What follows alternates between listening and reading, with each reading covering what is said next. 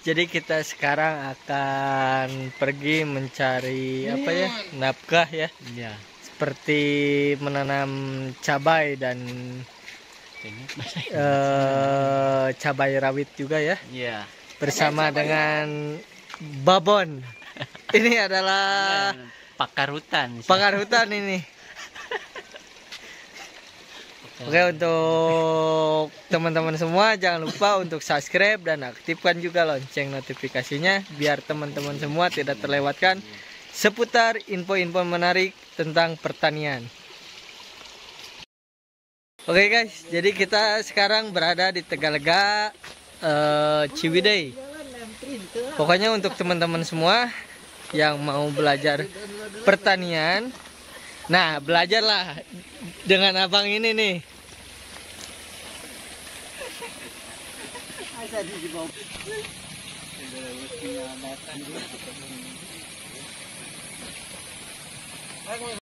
Jadi kita eh, cari tebu ya, tebu yang buat gula ini tebu hitam nih. Tebu hitam. Ini beda dengan tebu yang warna putih.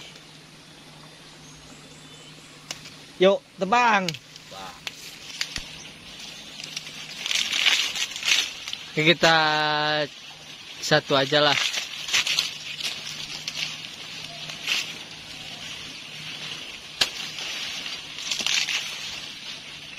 Ini biasanya di India ini dipakai ya banyak lah yang jualan tebu, cuman tebunya tebu putih.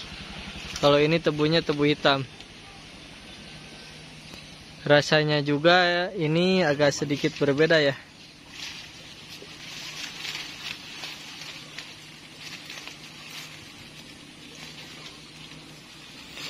Bukan hitam tapi merah ya ini ya.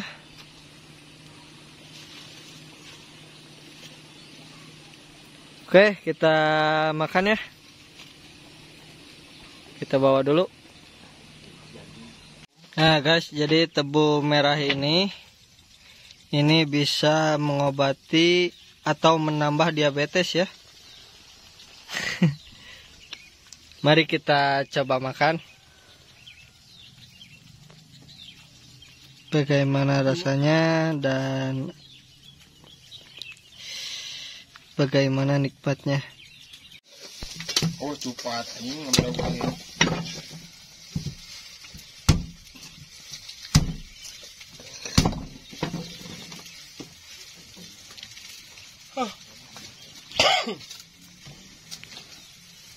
Nih kalau di India ini Mangrai. Minuman yang sangat lezat nih. Tapi sekarang juga di Jakarta udah banyak juga ya.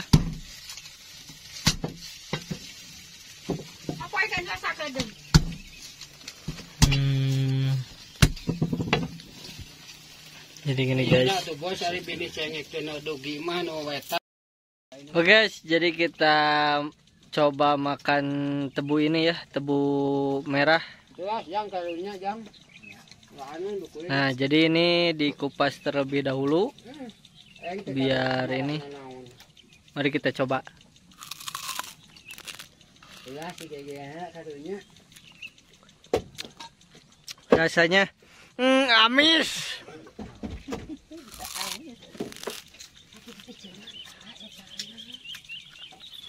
Coba banget kan kayak kudir.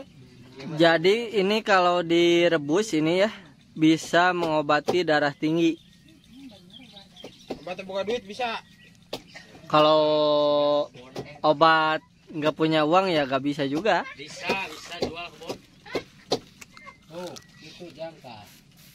Karunya yang buku. Rasanya wah amis amis amis. Kita masih kurang iya. Pemandangan di sana gunung ya. Ini adalah tanaman cabai, cabai rawit. Ini yang menanam adalah Mr. Boeng ya. Bukan bonge Fashion Week. Sanes bonge Citayam sanes. Bukan. Abi mah bonge pasir jamu.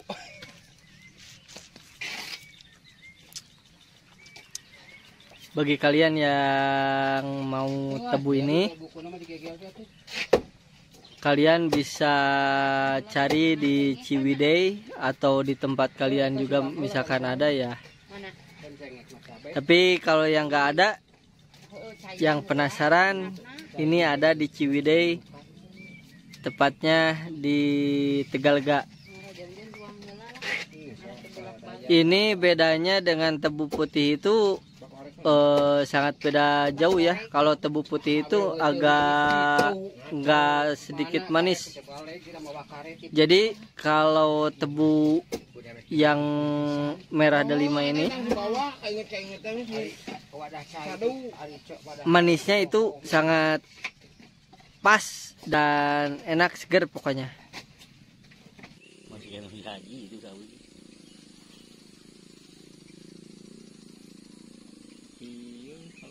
iya.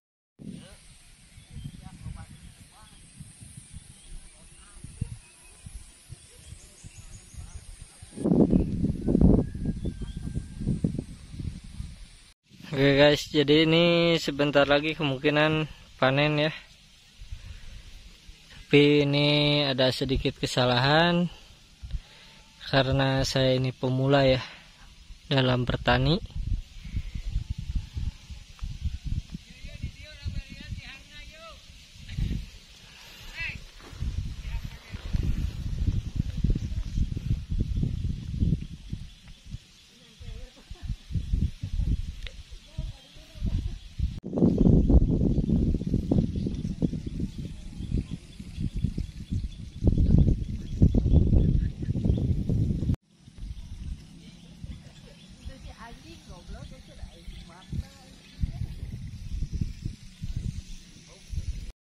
Guys, jadi usia cabai keriting ini ya, ini usianya adalah satu bulan setengah. Boleh teman-teman lihat.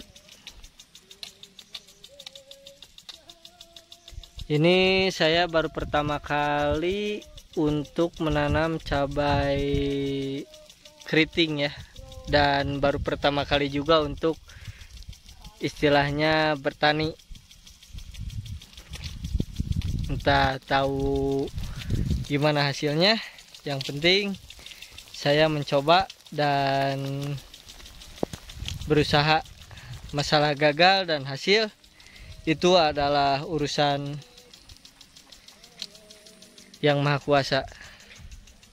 Bagi teman-teman semua yang berusaha ya untuk para pemuda intinya ya. Pokoknya jangan malu untuk bertani, untuk berbisnis karena kalau tidak ada petani kalian tidak akan bisa makan. Nah guys, untuk umur cabai satu bulan setengah ini ya, ini sudah berbuah nih. Bercabai bukan berbuah maksudnya. Kalau berbuah ya itu mangga ya. Ini kisaran tingginya berapa, Bah? Eh? Untuk kisaran tingginya berapa? Tinggi tanaman ah, ter- ter- tergantung ke, ke ketumbuhan. tergantung tumbuhan ya. Ya. Ini, Ini adalah petani cabai yang ada di daerah Ciwidey. sa- jadi- pa- pa- paling tinggi lah ada semeter sama jika nama. Jadi- 90. Untuk tinggi eh, satu meter ya, Bah? Iya ada. Satu meter dan untuk satu pohon ini bisa menghasilkan berapa Nggak, nggak tahu soalnya mah cuma tergantung iya anak ya ketumbuhan anak. Yang paling bagus tumbuh ya banyak. kalau bagusnya eh, Iya. kalau bagusnya ini satu kilo dapat Dapat. dapat lebih bahkan ya Iya. kadang kurang Ya kadang kurang gitu lah. hari tergantung ketumbuhan lah Iya. Ini Abah ini mengelola sekitar 2 hektar lah di daerah Ciwidey dan ini juga baru pertama kali menanam cabai. Jadi Abah tersebut eh, ya kakek tersebut itu baru pertama kali menanam cabai dan baru pertama kali bertani. Nah, saya juga ini lagi belajar mempelajari bagaimana cara menanam agar pertanian tidak punah. Jadi Indonesia itu harus memanfaatkan lahan-lahan yang ada gitu ya. Jangan sampai se- semuanya se- serba impor. Untuk anak muda semua jangan pernah pokoknya jangan pernah malu atau gengsi untuk menjadi petani.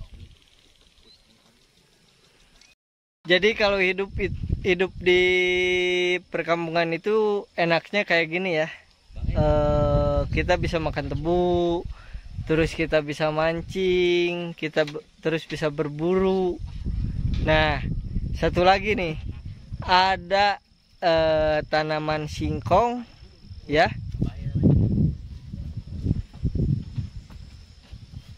Yang bisa kita makan. Jadi istilahnya tidak perlu membelilah. Kita memanfaatkan lahan yang ada. Nah, ini kita akan mencabut tanaman singkong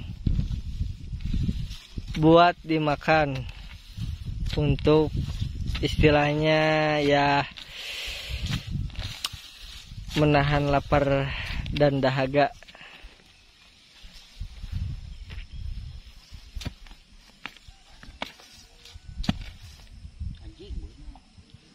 Jangan pakai anjing, Bro.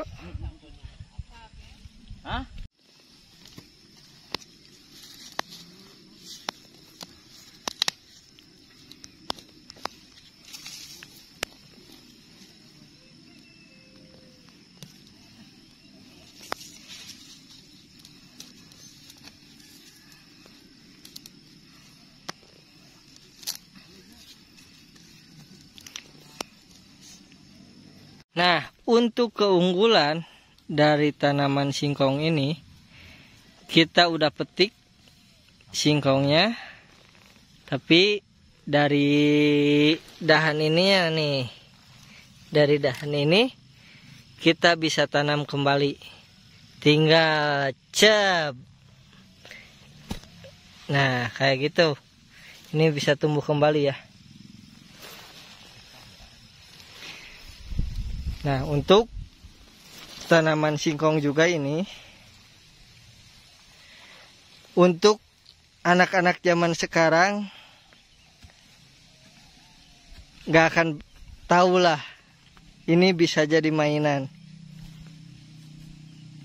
Coba kita rakit ya. Nah, ini adalah eh, kenangan kita zaman dulu nih untuk teman-teman anak-anak sekarang kemungkinan banyak yang gak tahu bahwa ini bisa bis- dijadikan mainan ya. Seperti ini. Diikat. Cuman ini terlalu kecil sih. Terlalu kecil ya. Terlalu kecil. Kalau kita dulu jang- eh, jarang main gadget ya kita mainnya kayak gini.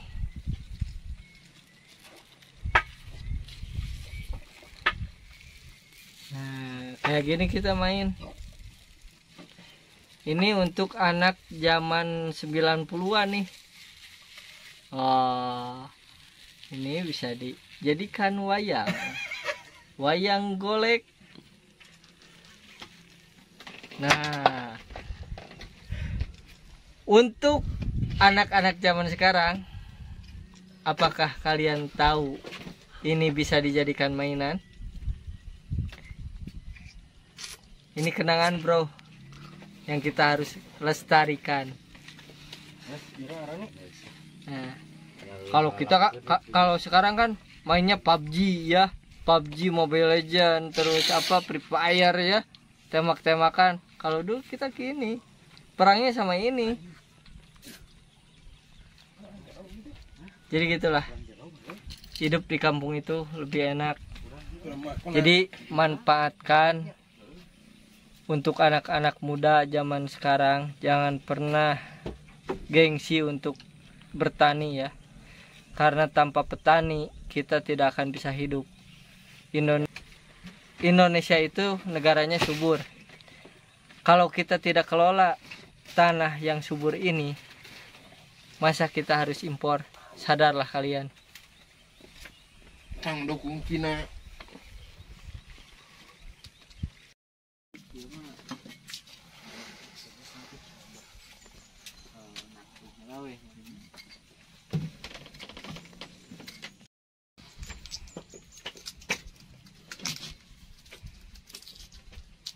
Eksperimen awan lalu ini.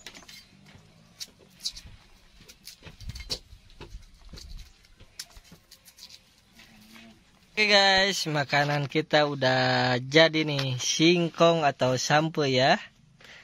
Udah mateng yang tadi kita panen.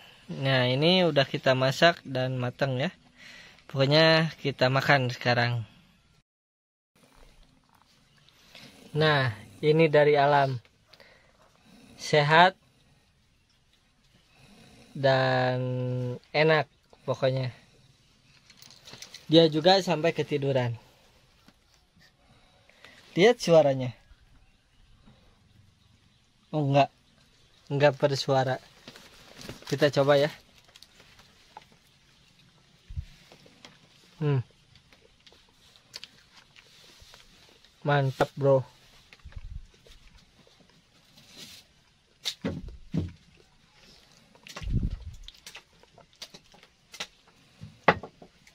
Kemungkinan orang tua orang tua zaman dulu juga kayak gini ya.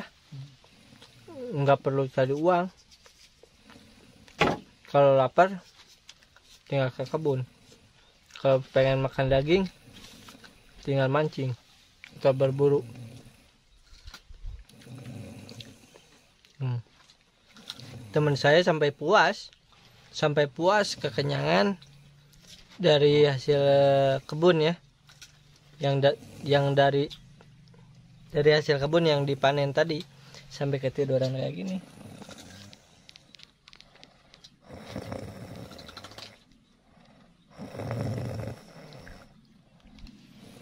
Pokoknya mantap. Jangan lupa subscribe dan aktifkan juga lonceng notifikasinya biar teman-teman tidak terlewatkan info-info menarik. Bukan info ya biar teman-teman tidak terlewatkan seputar traveling dari kami. Terima kasih banyak sudah menyaksikan video kami. Sampai jumpa lagi di video berikutnya